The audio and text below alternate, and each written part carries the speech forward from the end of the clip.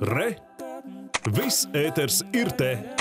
Un arī Rīgas startautiskā autoostas teritorija sākt skarta Rail Baltica būvniecība. Šodien pie autoostas izvietotas brīdinājuma zīmes par notiekošiem būvdarbiem. Kā tie ietekmēs autoostas darbību un kur turpmāk autobusi gaidīs pasažierus? Par to Dāvids Freidenfelds. Pie baltā metāla žoga autoostas būvdarba apraksts pieskrūvēts. Darbi var sākties. Kā izskatās? Tā, ka ir taisnība. Pirmās izmaiņas ir jau šodien. Pasažieri vairs sabiedrisko transportu negaida zem lielajām nojumēm. Iekāpšana un izkāpšana notiek kanāla pusē. Šonadēļ mēs sākam jau ar tādām redzamām lietām. Mēs sāksim nojaukt šīs te, nu jau jāsaka, ikoniskās autoostas nojums. Februārī mēs sāksim dzīt rievsienu un sākt norakt daļu no uzbēruma. Uzbēruma norakšana būs laikietilpīga.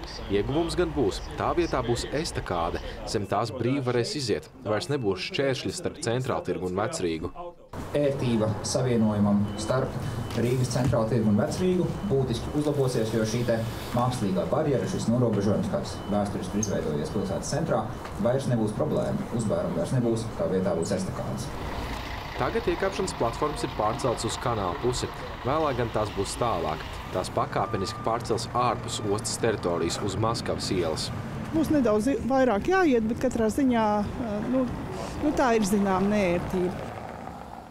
Pasažieru izkāpšana būs, tur ir dispečera punkts, var sakot, tur uz tiltiņu, var sakot, uz Maskavas ielas. Darbu organizatori norāda, ka bez nērtībām autoostas pārbūve nav iespējama. Tas nav vienkārši. Mums ir jāuzbūvē. Mūsu uzdevums ir uzbūvēt šeit pilnīgi jaunu, ļoti sarežģītu infrastruktūru, neapstādinot pilsētas darbu. Lielākās nērtības gan būšot pārvadātājiem.